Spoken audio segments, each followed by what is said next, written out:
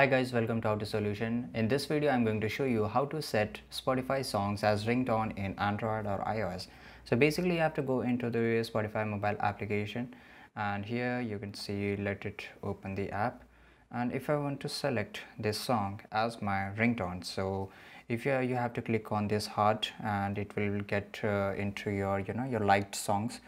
And after that, you can see here that there is a three dots. So you have to click on the three dots and here you can see a lot of options. So if you want to hide the song add to playlist or if, uh, if you want to add to queue and you can want to view the album artist you want to share and if you want to select a sleep timer that you can ultimate uh, it can turn off your songs uh, at any time and if you want to go to songs radios or show credits and repos so basically you can see that there is a lot of options but you are not able to see any options that you can set as a ringtone. So unfortunately spotify doesn't give a feature where you can set any songs as a ringtone and this is basically for all the songs which is available on the spotify right?